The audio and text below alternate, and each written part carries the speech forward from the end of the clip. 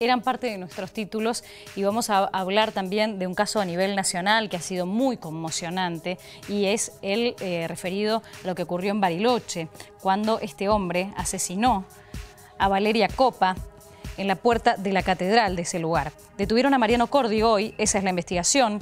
Está acusado de matar de un disparo en la cabeza a Valeria Copa fuera de la catedral de Bariloche, hecho que ocurrió el martes pasado.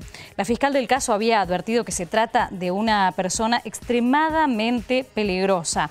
Lo cierto es que lo hallaron en una montaña y según lo que trascendió estaba tirado en el suelo y con signos de eh, deshidratación.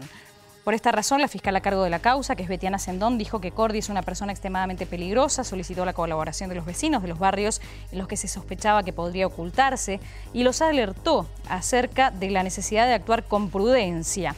Fuentes provinciales le informaron a la agencia oficial Telam que este hombre había utilizado un arma calibre 22 para atacar a su expareja y que existía la probabilidad de que se encontrara huyendo con algún otro tipo de arma, como rifles, pistolas y cuchillos. Finalmente fue encontrado en la montaña, como decíamos, tirado y con signos de deshidratación.